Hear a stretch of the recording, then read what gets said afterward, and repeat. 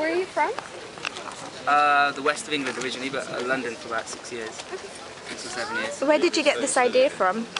This idea, Yeah, Um, it's a bit unique. I suppose it, it's a, it follows in a long line of making cardboard vehicles, Oh yeah? and I just realised that as everyone loves ice cream and everyone loves cardboard vehicles, if I put the two together, then it might it might do okay. But uh, it's illusionary, illusionary cardboard sculpture. You know, in the tradition of illusionary oil. So they're not real ice creams, but No, they're not. you're driving around Regent's Park Yes. with it, yeah? Yes. Um, yes. Yeah. Yeah, cardboard ice cream van man.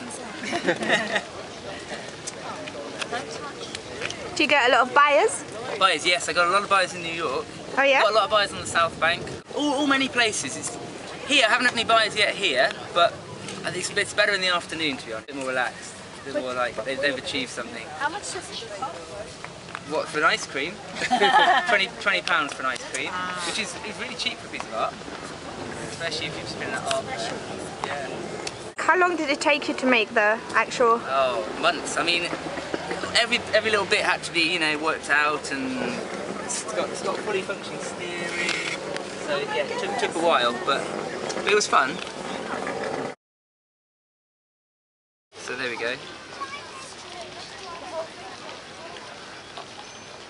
So there's your strawberry ice cream, and um, yeah. No, we've had enough.